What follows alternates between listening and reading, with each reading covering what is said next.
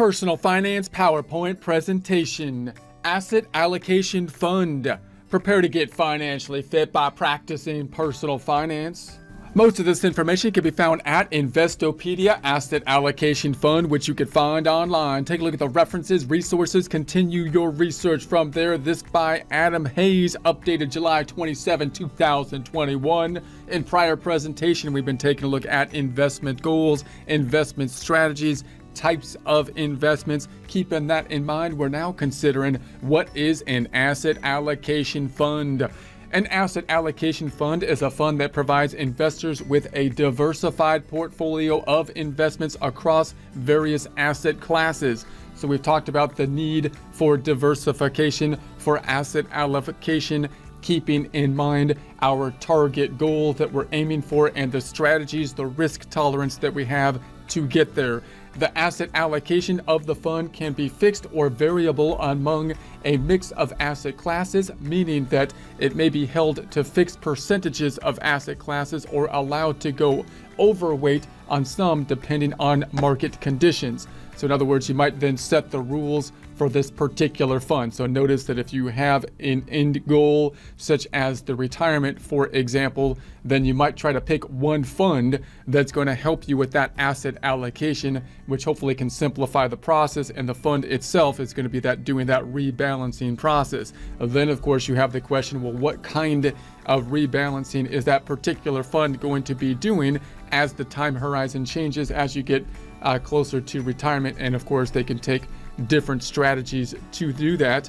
Uh, they could have a, a fixed kind of allocation, or the classes may allow to go overweight on some depending on the market condition, giving a bit, a little bit more leeway to the fund in those cases.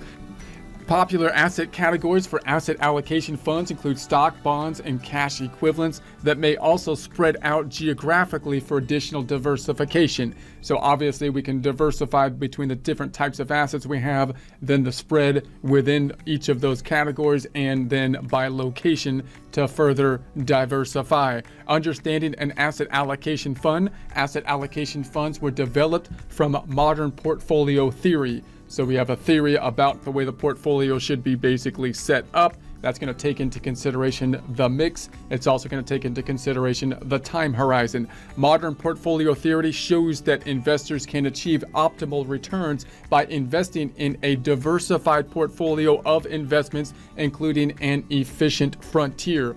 So note when you think about the optimal types of investments, the idea would be that you would need some kind of asset allocation. Then you can try to think about what the standard asset allocation might be given the time horizon and the tolerance levels, for examples.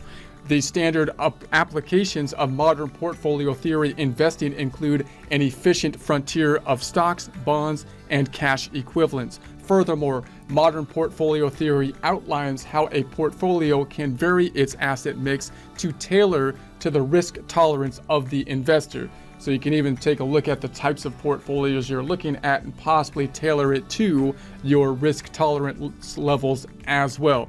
Uh, types of asset allocations funds. Asset allocations funds provide a simplified application of modern portfolios theory with varying allocations and combination of assets for investors. So again, if you're someone that's trying to invest for retirement, your alternatives would be because pretty much anybody that's investing would be thinking, I would need diversification. I need to allocate over the asset classes. I need to consider my goals. I need to consider my time horizon and then possibly have that varying in the asset allocation as I get closer to my goal. That's difficult for many people to do. Is it is it possible that I can just basically pick a fund that can basically do that reallocation for me? That would be like the more simplified uh, kind of method to do it.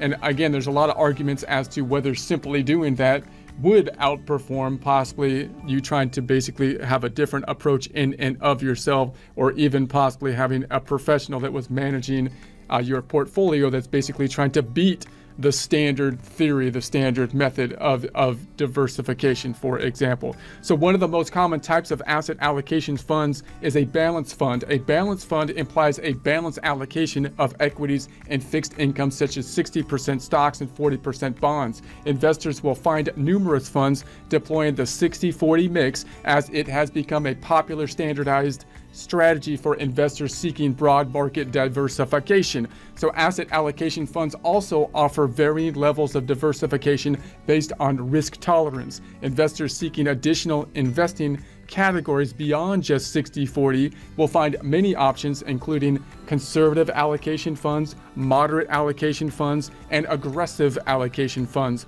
Life cycle and target date funds, usually used in retirement planning, are also considered a type of asset allocation fund. These funds are managed with a targeted mix of asset classes that start out with a higher risk return position and gradually become less risky as the fund nears its targeted utilization date. Uh, after determining a targeted asset allocation, funds can manage their investments selection in a number of ways. Some funds may choose to invest in a variety of exchange trade funds, ETFs, to represent different market exposures. Other funds may take a more active approach by using fundamental anal- analysis to select top performing securities in each asset class. So when you're thinking about these funds, then again, you have to get into the idea, well, how are you doing this this basic asset mix that is happening? Are you doing it with more active management that's going to be involved in it? Which again, you're, now you're going to be dependent more on the active managers, which means it's probably going to be more costly. Or are you using some standardized method like an indexed type of approach and basically just shifting, in essence, the the index is basically to weight properly in accordance with the conditions that have been set which means you would have less leeway for the manager. The more leeway you have for the manager, the more trust you, you're having in a professional manager to basically outplay the market to some degree, and also the more costly it might be.